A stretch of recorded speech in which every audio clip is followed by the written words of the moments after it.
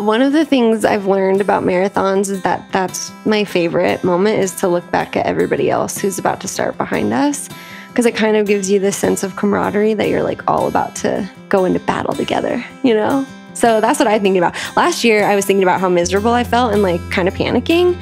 And I was super distracted on the starting line. And I feel kind of sad about it because I didn't really get to have that moment. Um, I was just like spiraling a little bit. so this year, I'm going to be really intentional about like taking it in. I mean, it's such a historic start line just to enjoy the moment. Welcome to For the Long Run, the podcast exploring the why behind what keeps runners running long, strong, and motivated. I'm your host, Jonathan Levitt. Through personal and professional connections in the running world, I have the privilege of getting to know some amazing athletes. I've always been fascinated by the psychological aspects of running and what helps people to achieve success, however they define it, and this podcast is aimed at exploring this and much more. I hope you enjoy. We're so excited to announce a new partnership with our friends over at SaltStick Electrolytes. SaltStick was founded by a PhD chemist who also just happened to be a professional runner and triathlete. Their products are specifically designed to mirror the electrolyte ratios that you lose in sweat. As many of you know, and I've talked about on this podcast, I'm a salty sweater. That's right, I said it again. I'll say it again salty sweater. And I need hydration products that help me replenish my salt and all the other goodies that I lose in my sweat. So that's why I'm stoked to work with SaltStick. Salt Stick has capsules, drink mix powders, and fast chews. Remember sweet tarts? Yeah, fast chews are like that, but for electrolytes. Fun and functional, and that's what we like to see. Head on over to Alete Nutrition to check them out and use code FTLR for 20% off your first order. By supporting SaltStick, you're not only going to step up your hydration game, but you're also supporting the show. That's A L E T E nutrition.com and code FTLR. We are proud to share that this episode is sponsored by our friends over at Puma. Here at For the Long Run podcast, we're fans of Puma and have been really impressed with their efforts to support and foster the running community. We're excited to partner with a brand that has such a rich history in sports and that cares deeply about the running community. Puma believes that sometimes all it takes is a spark to make a change, to get motivated, or to try something new or hard, and we couldn't agree more. All we need is that small spark, and the actions will follow to get us there. With that small flicker, anything is possible. Puma running shoes offers supreme cushioning, superior propulsion, comfort, and lightweight technology.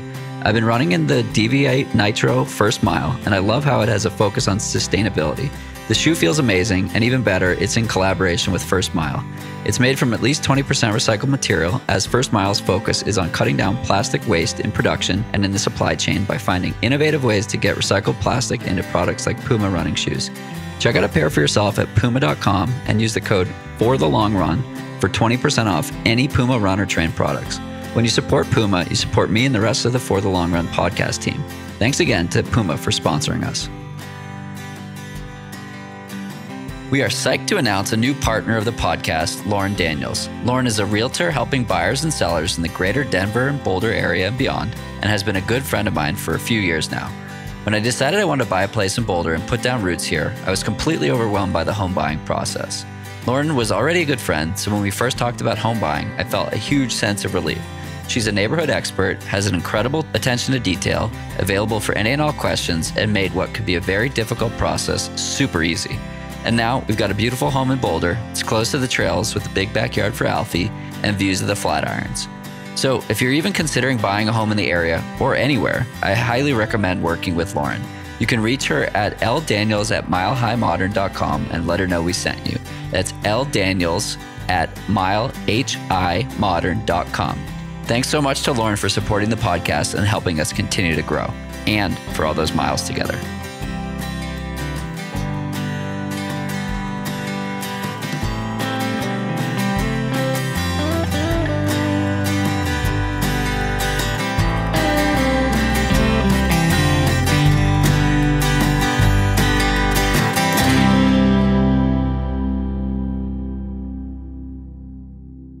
And we are back with Sara Vaughn going round two on the podcast. We have similar dog noises, but a different setup. So you can you can watch this on video as well. But Sara, thanks so much for taking some time to chat ahead of uh, Boston Marathon. Of course, I know it's your favorite time of year, so I'm excited to feel some of your hype too. Yeah, I think I think it was a one hour hype session last year. Exactly. Um, So that was about 50 episodes ago. So Okay. I'm sure there's some new listeners. So we'll go through the the whole the whole business. So who is who is Sara? Uh, do you want, you want me to answer Yeah, that? yeah. Okay. Um, well, Better I'm, you than me. Yeah. Well, sometimes I like other people to hype me up, though. You know. Um, so no, I'm a I'm a mom of four. Um, I'm married to my awesome husband Brent, who is also my coach, and I work full time as a realtor here in Boulder, and we've lived here since college.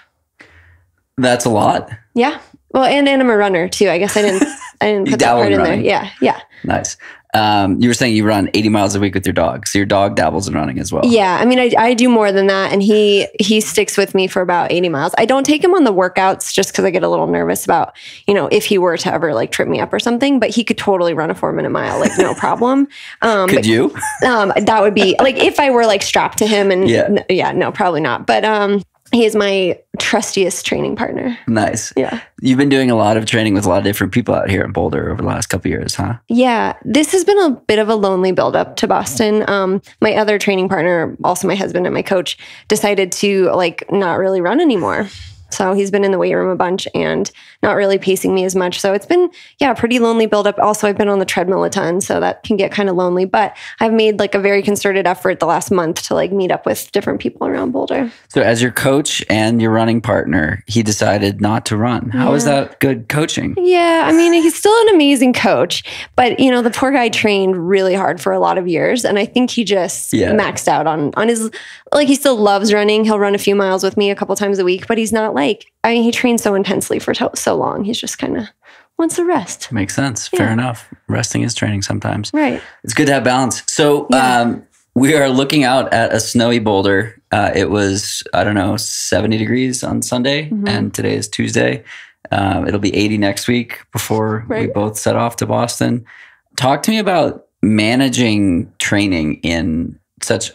I mean, a lot of people come to Colorado because they're like, "Oh, the weather's perfect, 300 days of sunshine a year," and Yeah. the winters aren't bad. And this winter, compared to my experience in Boston, has been not bad, but compared to what Right. people come to Colorado for, Yeah. uh, perhaps less than ideal. So, talk to me about um, this particularly challenging winter and using the treadmill a lot, and and how you've been able to um, stick with it.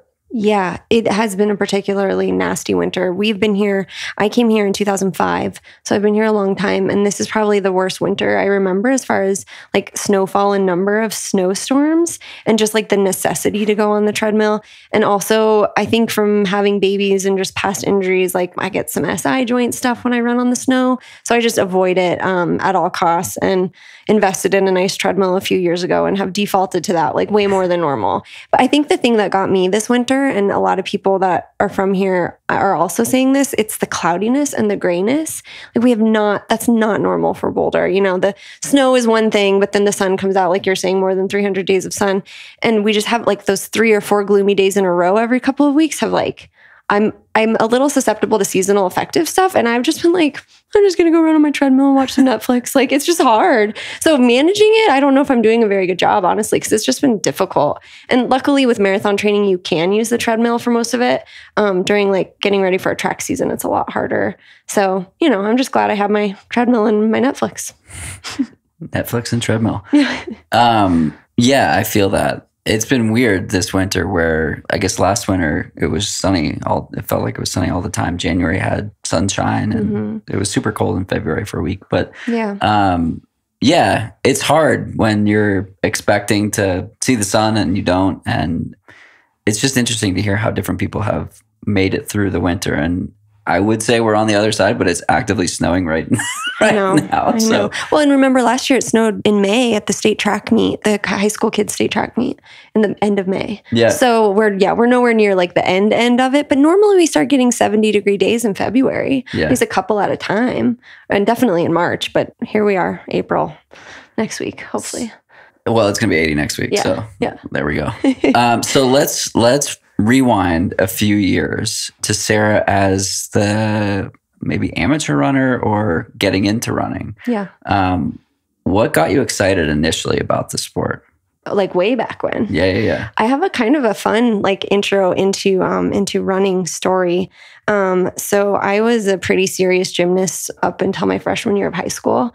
Like I would be going twice a day. I was in the gym a lot of hours a week. And I was I was growing up in a pretty small town and my gym like literally just one day went out of business. so it was like a Monday morning. It was like 2 weeks before my freshman year and I my mom had dropped me off or I walked over or rode my bike. I can't remember, but I Actually, I probably drove because I drove when I was 14 in Nebraska. I had a farm permit. So I drove myself to the gym, walk up, and there's like a padlock on the door and it's closed. It's just like no practice today. So I call my mom and I'm like, what am I going to do? My, like, this is my life. This is what I do all the time. And I had hoped to do it in college. And my mom was like, Well, I got an email from Coach Nash. He's the cross country and track coach. And I think she's like, I think they have practice in like 20 minutes at the high school and you're dressed to work out. Why don't you just go to that? And I was like, I guess, like, I'll just get in a workout today at least. Like, I won't waste the day. And I showed up to the first day of cross country practice with my leotard with shorts over and like a pair of JC Penney, you know, sneakers. And, you know, the rest is history, as they say. I, um, went on a run with them. I remember like I had no idea really what I was doing. I'd never run or trained with people. We did like a four mile loop around our little town.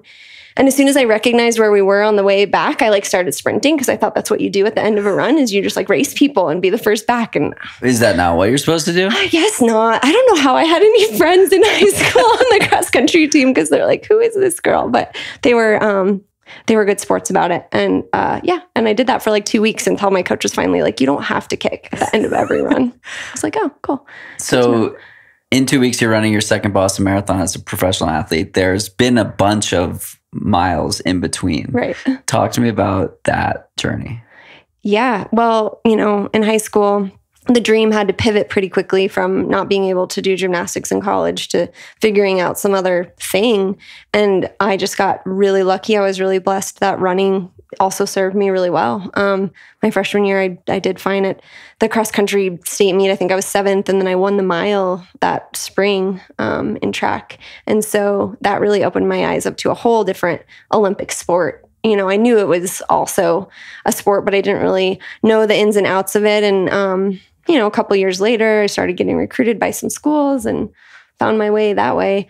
And as far as like, you know, track and field, that was always super exciting to me. I, have I've loved the 1500 and the mile forever.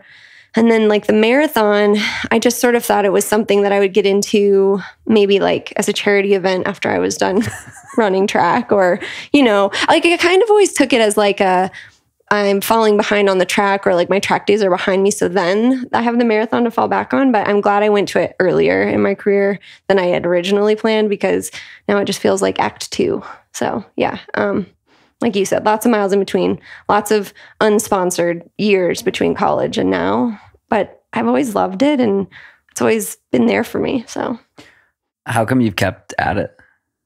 Yeah, I think it's just been one of those things that has always like called me to keep coming back. I mean, there have been times in my career where it was really obvious to everyone around me that I should probably walk away from the sport. It just didn't make sense, like financially or well, mostly financially.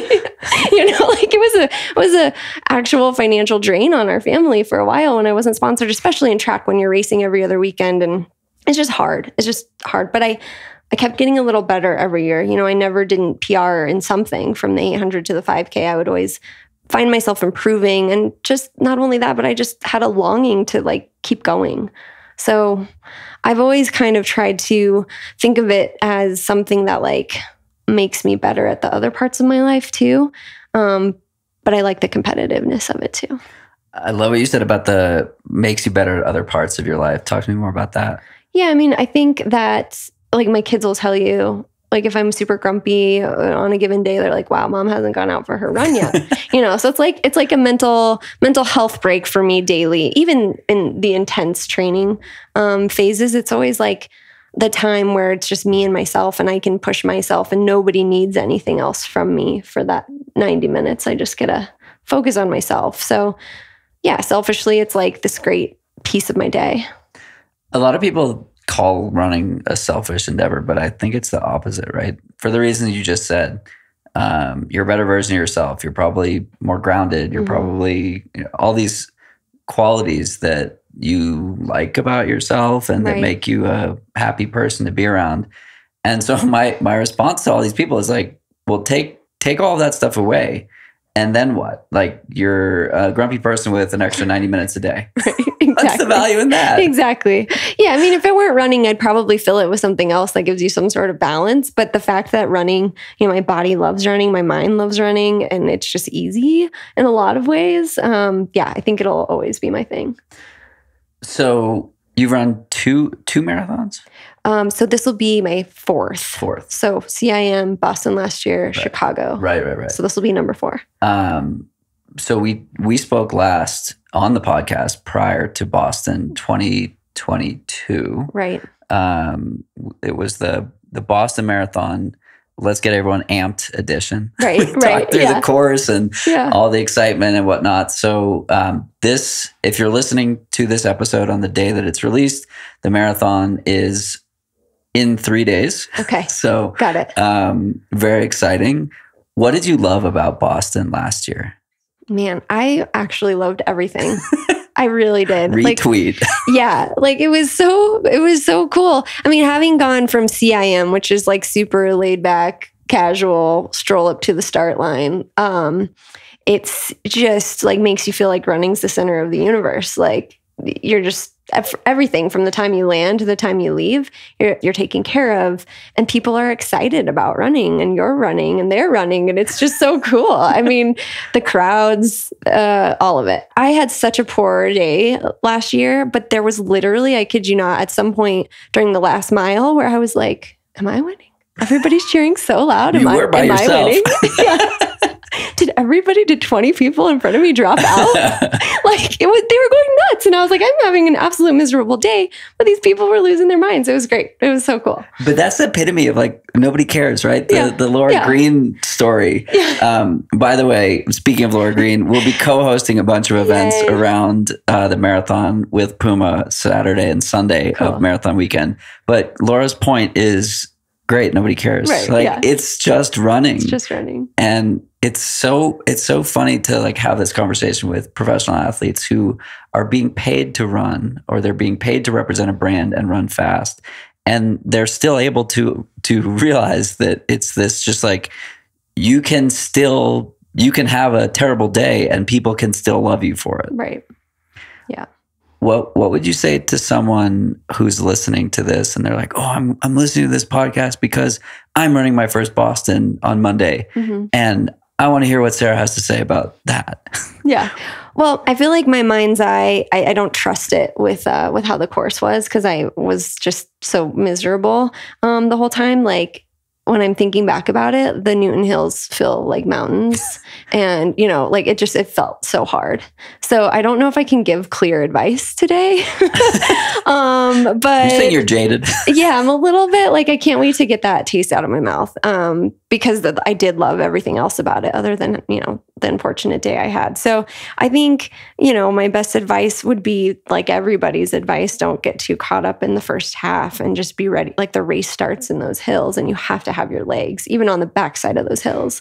Um, you have to have your legs, and then definitely take a moment, whether you're in first or twentieth or two thousandth, to take in the crowds that last stretch because it's really cool.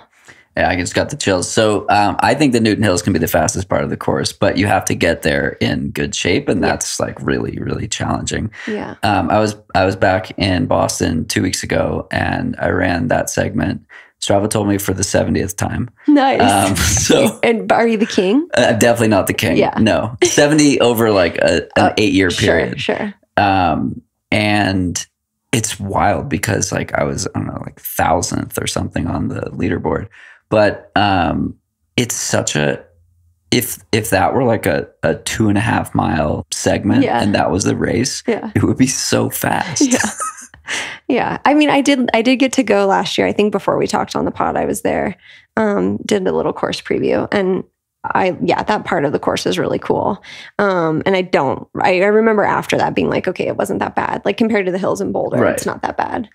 The first time I ran hills after being in Boulder for a long period of time, it was the Falmouth Road Race in the summer of 2021. Yeah. and there's a big climb after the first mile. You're along the coast. Have you run? Mm-hmm. Yeah. You've run Falmouth, Mhm. yeah.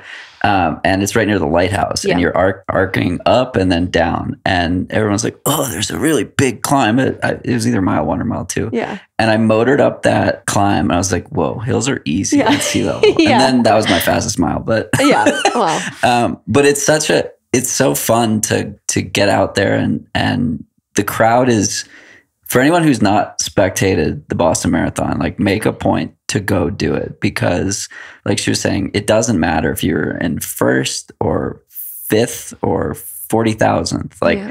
people are gonna cheer you in. And the crowd of people that's going through at like three or four or five PM, Yeah. are still massive crowds Yeah. out there for those people too. And it's it's super cool. Yeah. I did make it a point last year instead of feeling sorry for myself for hours on end after the race to like go back out and watch some people finish. And nothing like watching a marathon to like give you restored faith in humanity, period, no matter how you're feeling. Totally. So, when you're approaching a course that you're not familiar with, um, there are a lot of. It's kind of hard, right? When Mhm. you're approaching a course you are familiar with, you may have some some type of advantage. So, how did your training look different last year compared to this year? Yeah, I think this year we definitely were more intentional about planning specific long run routes to mimic the course. So we did an okay job with that last year, but um, I feel like every year we add something in and get a little bit better with our training. So that was one thing we focused on this year was really hitting some downhills early in a long run and then try to hit some strong uphills, you know, around mile 17, 18 in a 20 mile long run to kind of simulate those hills and then finish with maybe one or two fast downhill miles again. And that takes some extra effort because I can't just, you know, most of my long runs are, are self supported. So I'll do some like five, six mile loops from my car. But when you do something really intentional like that, you have to have somebody Yeah. following you around in a car. So um, a couple weeks ago, the two little ones and my husband, you know, sat in the car for two and a half hours and followed me around the back roads of Boulder. And they were such troopers. But to be able to do something like that, you have to have somebody supporting you like that. So yeah, um, it's worth the extra effort, I hope, because I feel much more confident now. We got to get you out to the um, the Boulder Boulder 5K time trial with the, the downhill Oh, right. send from um, left hand. Yep, that's where we've been starting most of Nice. our long runs. Yeah, Yeah, yeah. is that downhill and then kind of trying to finish like on the lower part of that too. It's such an interesting feeling to be going hard downhill at altitude where it's like Yeah, a long extended downhill that's not that steep but it's steep Right. enough enough. Yeah. It kind of like, I think it's important at altitude training to get in some of that race specific turnover too. So even if your race isn't particularly downhill, like we did this a lot for Chicago too, where you just got like that rhythm that you're going to be actually Yeah. running because it's so hard to practice race pace with the, tur- the additional turnover of like a slight Exactly. grade yeah yeah. before boston 2021 i did my last effort it was a 5k from south boulder creek down bovo Yeah. down Yeah. It's like flat enough Right. but it's still 50 feet a mile and Yeah. so that you get some um, benefit of additional turnover it Yeah. felt like it was cheating but it was fun That's awesome. That's a good one. Um, what are you loving most about running right now? I, well, like I said, I've been trying to make an effort of meeting up with some people lately. And so uh, that's kind of reminded me that that's one of the things I've always loved about running is, you know, the quote unquote teammates, your training partners, just, you know, friends that you get to meet up with every couple of weeks. Um, yeah, I've been able to do that the last couple of weeks. And I'm like, oh, yeah, I really like runners also, as well as running. And like the social hour of it has been nice. Um, and in the past, I've been doing a ton of training with Boulder Underground. And I feel like this buildup, um, we've been doing a nine day schedule. So I just haven't been able to like sync up with them as much. So I miss them. But um, yeah, trying to be intentional about just meeting up with people I know and love. Um, that's what I'm loving about running. It was fun to do some miles with you last last winter with uh, or Yeah. last yeah I guess winter um, up at Mags and Yeah. uh, and then decent bagel afterwards. Yes. the best part of running at Mags. the best part of running Yeah. at Mags is the more than decent bagel. Yeah. Um, so the community aspect. Yeah, for sure. So I had Dakotah Lindwurm on the podcast on Sunday, Awesome. and uh, she talked about the crowds and the people and the cheering. And she's like, "My name is close enough to Des's that people think that I'm Des, so they cheer for me." And Yeah. I really just want them to say, like, "You look strong." So if someone sees you out on the course on Marathon Monday, what do you want to hear? Um, I personally love like the ironic, totally wrong, like You're make me there. giggle. Yeah. Like at 5K in, be like, kick. you know, I love those signs. Like, Kick. I think I maybe I mentioned this on the last podcast, but the, some of the signs I took in at CIM last, like two years ago, were so funny. Like, this lady had a sign that said, worst parade ever. I think that's hilarious. Like, she's out there cheering, but she's also making fun of us. Um, yeah, I like those. The signs in Wellesley will will Yeah. knock your socks off. Yeah, the signs in Wellesley are good. Like we, I definitely got asked to, you know, like kiss a few girls as I was running by, but I, I didn't, which was probably good. the pandemic. yeah, exactly. Didn't matter to them. D- No, it didn't. Um, okay, so let's. So we. I'm sure we'll get back to Boston, but um, I'm super curious around something I've been struggling with a lot lately is balancing, or balancing isn't the word, but fitting running in with a busy life. I don't have kids. You have several kids, Mhm. um, but we both have a full time job, um, Yep. a partner, all these things, a, a dog, and things that we like to do outside of running as well. And you're in real estate. It's a wild time to be in real estate, I Mhm. imagine. Um, so, talk to me about the ebb and flow of like your peak, you're in peak training Yeah. and maybe you have a lot of other things going on at the same time. How do you how do you rectify all of that or how do you how do you grapple with that? Yeah. So I've always hated that phrase balance. Like I feel like it's such a cliche term used, um, especially when it comes to women, like trying to balance everything. Like you see it on all the women's magazines as headlines often. And I just I don't buy into that. There's no such thing as balance. And that's basically what I tell people, right? Like I'm two weeks out from Boston and I'm going to be really honest. I am backing way off at work. Like that is bottom um, priority for me for the next two weeks. If a client needs something, of course I'm there. Got two closings like two days after I get back. Like I'm gonna, of course, I'm not gonna drop the ball on anything, but like I'm not prospecting for new clients. I'm not hosting open houses. I'm like bare minimum, you know, pushing that to the bottom and prioritizing running. And then as soon as it's over, that'll like totally flip around and switch back. So like honestly, that's just it, is that you can't do it all perfectly well all the time. You just have to um, pick and choose. And sometimes those change really, really quickly for me. And I mean, also to be super, super honest, the more deep I get into marathon training, this will be my fourth in like 16 months or something. Um, the harder it is to do to to do other things well. Like I feel like the more invested I am into marathon training, obviously it comes with like some physical fatigue, but the mental fatigue of it too. Like I'm just I'm not working as much as I was a year and a half ago. I'm just not. It's too hard. What what do the weeks and months look like after a marathon build? Well, usually because I kind of have this like mental shift focus on on the marathon, usually after um especially if I have some like downtime away from running or just not putting in as many hours running, I'm like way back into real estate mode and I just like dive in and actually have to go to a networking event like a couple days after I get back from Boston and so that'll kind of restart my um real estate focus for the summer. Yeah. Cool.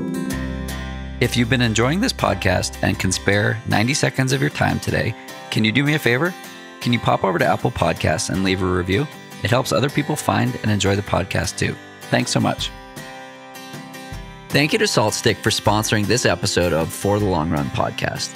If you deal with muscle cramps, fatigue, or just general dehydration, check out SaltStick's suite of products to help you replenish what you lose in your sweat during those long workouts on the road or on the trail. Whether you're a fan of capsules, powders, or chewables, you'll find awesome flavors and plenty of hydration with SaltStick. And remember, friends who hydrate and replenish electrolytes stay together. And that's what this podcast is all about. We're stoked to be partnered with a company that's backed by science and helps us stay hydrated and healthy for the long run. So head on over to E A-L-E-T-E nutrition.com to check them out and use code FTLR for 20% off your first order. Thanks again to SaltStick for supporting the show. This episode of For the Long Run podcast is sponsored by Puma. For 75 years, Puma has been pushing sports and culture forward with innovative design and development. We are honored to have Puma supporting this show and supporting the running community at large. My greatest compliment for running shoe is I didn't think about it once. The purpose of having the right gear is to enable you to do anything you want out there. When I'm running in Puma's Deviate Nitro first mile, all I'm thinking about is literally anything else. I think about the community. I think about why trying hard things is so rewarding. I think about how cute Alfie is. And I think about how much I love tacos, and I think about the big things like how I want to leave each place I inhabit better than I found it. You know what I'm not thinking about? What's on my feet. And that's the best thing about Puma running shoes. They're designed to help you get out there effortlessly so you don't have to worry about what's on your feet. Just need to worry about putting one foot in front of the other. Check out a pair for yourself at puma.com and use the code for the long run, all one word, for 20% off. Again, when you support Puma, you're supporting me and the rest of the podcast team. Thanks again to Puma for supporting us. Is it a good market to buy a home in? What about to sell a home? What even goes on in the housing market? How do you even keep track? Well, good news for you, you don't have to know all the answers if you're interested in buying or selling your home, because you can just work with the best realtor around, Lauren Daniels. Whether you're thinking of buying or selling your home, Lauren is your go to. She treats every client with care and helps make what could be a very scary process, dare I say, fun. Lauren helps you get organized and stay on top of important deadlines and guides you towards the right home for you instead of pushing you towards something that doesn't feel right. Even if you're not ready yet or you're not in the Denver or Boulder area, we highly recommend following Lauren on Instagram because she's always sharing great information about the housing market. Give her a follow at lauren.in.colorado on Instagram. And if you're already ready to start the conversation, give her a shout at L Daniels at milehighmodern.com and let her know we sent you. That's L Daniels at milehighmodern.com.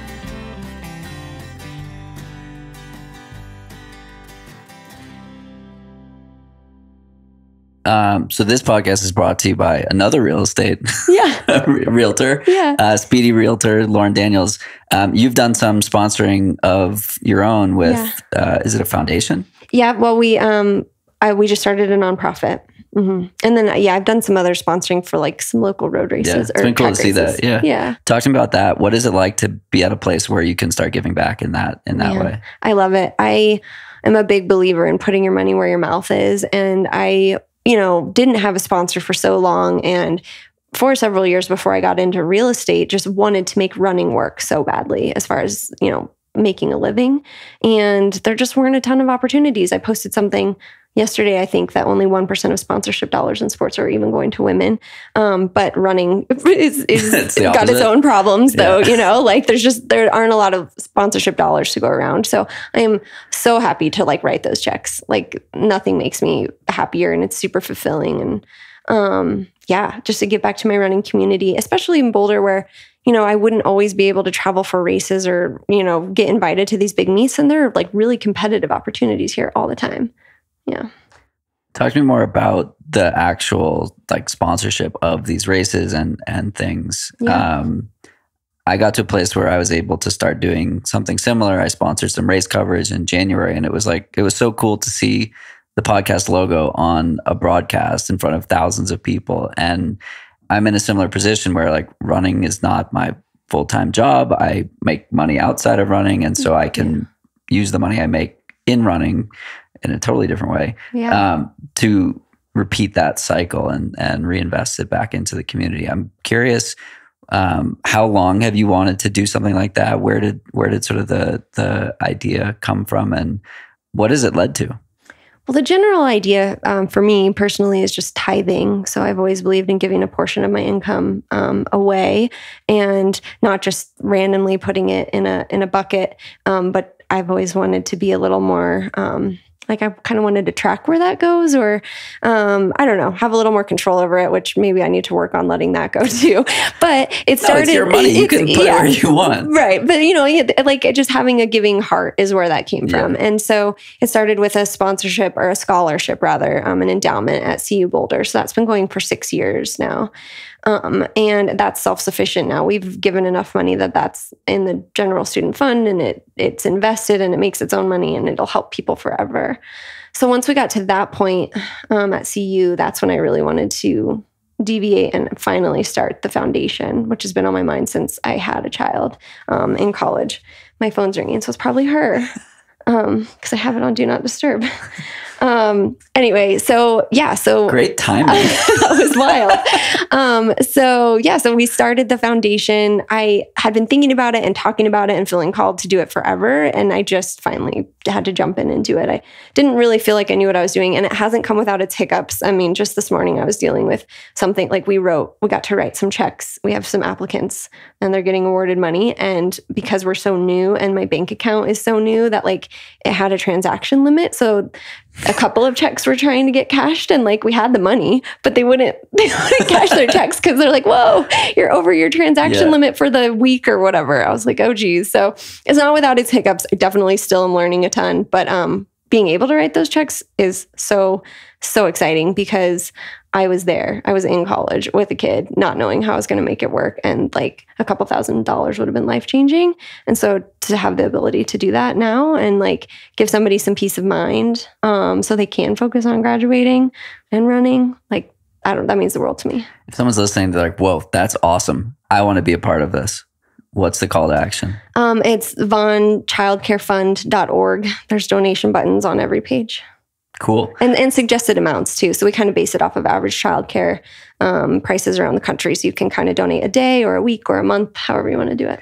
Very cool. So, talk to me about becoming a sponsored runner and having the challenges of the financial aspect of traveling to races and Mhm. and all this um, sort of loosened. Yeah, yeah. I I um I don't think I ever really functioned fully like to my ability or my potential when I had our like uh livelihood based on my performances if that makes sense. Like i never did well that way. Um so i did have to get to a point where you know i was doing well enough in real estate that i could really separate the two. And go figure ironically. Like when i finally feel like i'm self-sufficient and like on my own two feet Sign a contract. financially. Yeah i'm like oh yeah here's here's some money for you to keep running. I'm like oh, okay cool. Like i'm so grateful for it. It's it was such it is such a cool thing. Um but i didn't like run a marathon for that reason at all. And so i was like it was like a bonus. Um it's it's been really cool. And more than that like i feel like a professional. Like i love having matching kits. And i love kind of having like you know built-in teammates and this whole corporation that's like excited about what i'm doing. That's really fun. What's the what's the Boulder Puma crew like? yeah the boulder puma crew is cool. Yeah um aisha i when i first signed with puma at the beginning of last year we were doing a photo shoot to announce it and i um my gear got lost so i had like no puma gear for this photo shoot to announce I think I remember I was like calling Aisha for like like some gear, but yeah, no, it's it's great. Like the whole Puma fam is great. Um, I- yeah, I feel very spoiled.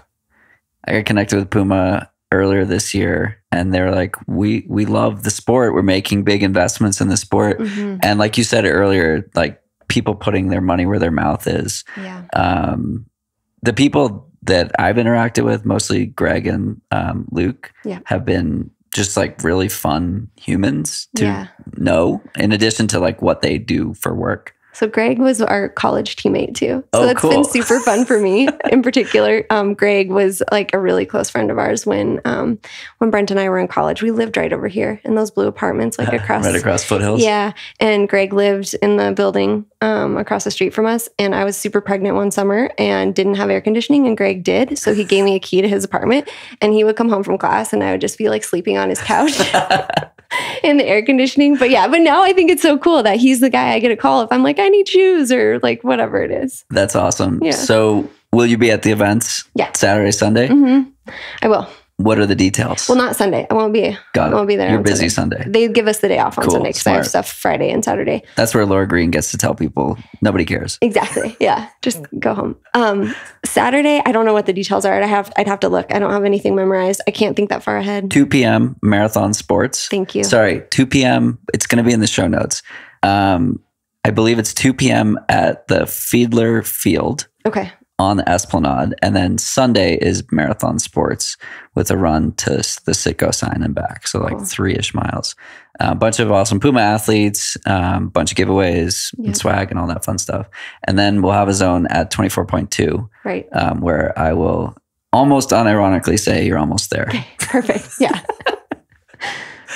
Um, okay, so you you're standing on the start line of Boston for your second round at Boston.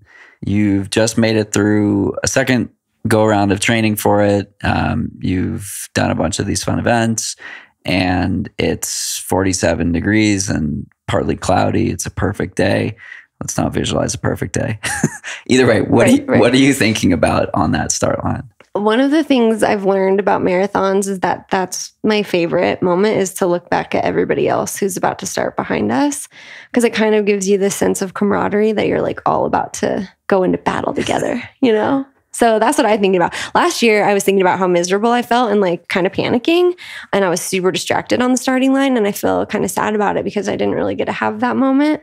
Um, I was just like spiraling a little bit. So this year, I'm going to be really intentional about like taking it in. I mean, it's such a historic start line just to enjoy the moment. Is gratitude a component of your day to day? Definitely. I mean, that's how I try to live my life in general. Like, I try to reframe everything um, as a blessing or somehow working out for my good. Yeah. How do you do that when it's like, well, but why is it this hard? I mean, a life, you can't avoid, you know, pain or difficulties in life, right? Those are unavoidable. Um, so it's just figuring out how to react in those and and deal with it, you know. I don't know why last year went so poorly, for example, but at least I got a course preview. I finished really slowly, so I got to take it all in a little better, you know. And I don't, I don't know why, but maybe I'm more prepared this year. Um, in general, sometimes we can't like rationalize things about life, but we can control, you know, how we think about them, how we frame them. Yeah. One of the topics that I've become particularly fascinated with talking about or asking about over the last year or two is defining success and the ways that people do that. So, Yeah. um, before I wax poetic on that, how do you define success? Yeah, we talked about this last year, I remember, and it kind of got me thinking about it again. Um, I mean, I love goal setting, but I also love process oriented goals. And I don't know. I mean, last year, like I keep going back to this race last year, but it wasn't a complete failure. Like I had an amazing build up. I built fitness. I, you know, got to experience things and I don't know. I just I hope to move that all forward. And there will be a day where I'll stop PRing, I guess, probably sometime in the future. and so like for so- yeah, so for so long, I just, you know, that's how I kept being like, that's, I'm going to keep coming back for more because I keep PRing and something. And I know I can't define success that way always, but you know, that's the black and white of it is like, I want to PR in two weeks. That'll be a successful day, no matter what else happens. Um, but maybe the weather's terrible and maybe that's not, a, maybe that doesn't make sense anymore. So I don't know. I mean, I think effort and attitude and how you can control those are a huge way of how I would define success. So, let's say you don't PR, but you still call the day a success. What would you have done? um yeah control what i can control. And like i said effort effort and attitude that's all you know? Like if it's one of those days where times don't matter like how am i gonna push myself and pay attention to my sensory data and know that i'm working hard and racing hard and um, just trying to get the best out of myself on that day Okay, so let's do some more visualization. So you've come down the first steep 5K, you've gone through Natick, you're coming into Wellesley, Scream Tunnel, you Mhm. hear it from a half mile away. yeah You go, you start making your way into Newton, you pass the Whole Foods, you hit the fire station, you turn right, yeah you're on Comm Ave, there's a big hill. hmm What's in your head right there? mm, i hope i'm chomping at the bit i hope i have my legs under me and i'm just like ready to let it rip at that point yeah I did a course preview of um, Boston a while ago, and I vividly remember what I said to the GoPro as I made that turn. I said, "You've trained all winter for this turn." Oh, I watched that course preview. I think you sent that to me. Yes. Right? I love, yeah, I love that turn because that's like mile 17 and a half, Yeah. almost 18. And I think that's where the the racing starts. That's where the fun starts. And that's where you know if you know it's gonna be a, a wonderful day or a really hard day where you still get to do challenging things. Right. Exactly. yes. No, that turn um, is a big, like a big turning point in the in the race itself. It's one of right? a few turning points exactly, in the course. exactly. But it's like if you can get there and feel good, then you can like let go of the reins, you know, and just air it out a little bit. So I feel that that approach is really simplifying it in a good way, right? Like Yeah. it's about chunking. It's Yeah. about like break it up in the ways that I I just did. Yeah. So it's Natick, Wellesley, Newton, Hills, Yeah. Brookline, finish. Yep. And ma- many of us have run 18 miles many, many times, and we can run 18 miles many, many times. I ran 18 miles last weekend without planning it, and I was like, "This is great." It was all in the the marathon course, and I I just love the framing of like just get to that turn Yeah. and then see what you're made of. Yep. And Yeah. Kipchoge is just up the road. Right. Exactly. No human is limited at that point. Right. Oh man, that's gonna be wild. The crowds are gonna be extra amped. Yeah, it's going to be so cool to see him coming through. Yeah. Um, I want to get back to what you were saying earlier about um, being a sponsored athlete. You're now a couple years into that, and there's a lot of dialogue lately on Twitter, on Instagram, et cetera, about like performance versus storytelling. Mhm. I feel like you do both very well. Thank you. Um, and I'm curious if that's intentional. I mean, obviously the performance aspect is a little less controllable, um, but I'm curious your your focus around social media and um, what you're being asked to do and what you like to do. Yeah. So, but for a long time before I was sponsored, I thought that that was the key to get a sponsorship was to build a bigger social media base. Like maybe that was a piece of the puzzle that I was lacking or whatever. And so to make myself more marketable, I kind of leaned into that a bit, but um, never really strayed too far from like what I enjoy posting and talking about. And then, you know, as far as like my obligations for Puma, I don't really have much. Um, they really wanted me to continue with my own voice and kind of just come alongside and support that. Um, so I feel like really blessed in that way that like they don't require me to do a bunch of cheesy posts and like scripted stuff, um, which is really nice. But from all those years of like kind of leaning into social media, I feel like I've built a little bit of a community online and I really jo- enjoy connecting with other mom runners around the country. One of my favorite things I've done was that video with Laura, like that parody that we did. Um, cause it was like this, I, I got to have a little bit of a creative outlet. Like I, I shot her, I don't remember exactly how it transpired, but I shot her an email, like kind of being like, we should do this. And she was like, okay. And she sent me a script like the next day. And then I sent her something back that was like a little, like it was mostly what she had written, but we added a lot. And I don't, it was just so fun. Like it was just silly and fun. She brings so much to the to the running community. She really does. I was in a meeting with Puma a few weeks ago, and one of them asked me, they were like, "Oh, would you be cool with like a, a co-host for these events?" She has quite a different platform and audience than you, and I was like, Yeah. "Is it Laura Green?" and his it. face turned bright red, and um, it was like, "I can't tell you." Yeah. And I was like, "I'm going to text her. I'm going to text her right now." So I texted her, and she's like, "Uh." Who's asking? I was like, I'm asking. Yeah, yeah, I yeah. was like, are you working with Puma? Anyway, um, the it's such like a I've known Laura for I don't know ten years now Okay. through November Project, and like what's cool about her is that she's not changed at all. Mhm. Her her shtick is like running is stupid, and I like Right. I like it, Right. And we all love it. and we all love Yeah. it, and some people I feel like get insta famous and like Yeah. change Yeah. entirely.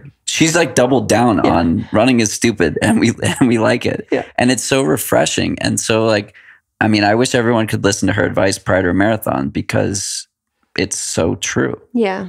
Yeah, no, I definitely I enjoy her attitude. I mean, she's all of us, right? Like she expresses things that you're like, "Oh, I thought that to myself, but I never would make a video about it." So thank you, Laura. Like she's so I love it. Um, but yeah, like definitely taking that attitude forward too. Like I I don't really have anything to lose. Like I don't have anything to lose. I mean, it's silly. So why not just go for it? Do you think that there's some like intentionality around that? Like I'm seeing a lot. Uh, so I just spoke with Dakotah Lindwurm and she said the same thing. She's like, I have a job and it allows me to not pay my bills by race performance. Mhm. And that enables me to perform. Totally. totally. And so I'm curious if there's like some intentionality around choosing athletes related to like we know that they're going to perform and we know that they're going to be good humans. Maybe that's a question for our friends.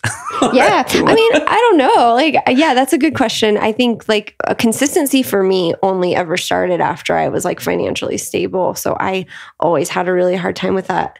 I think partly because, you know, we always had a kid to take care of too. So the stakes were a little higher.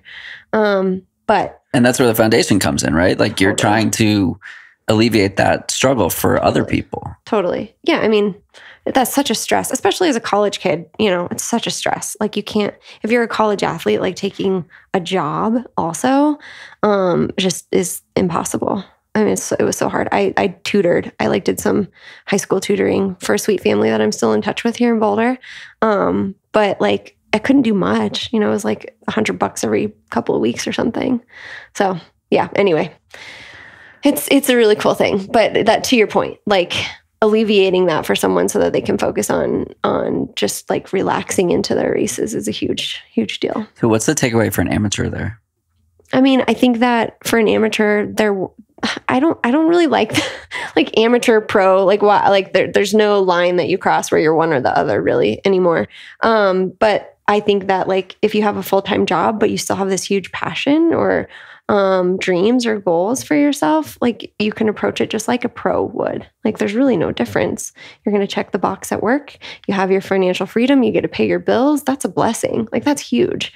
Um, so why not take that attitude of like I get to do this? Like I I work hard in my office job so that I can go run in circles on the weekends. The I get to do this part is like a good check in with yourself. I mm-hmm. feel. Yeah. Um, if you're ever at a place where like and speaking from experience over the last few weeks like i was at a place where i was like i don't want to do this. Mm-hmm.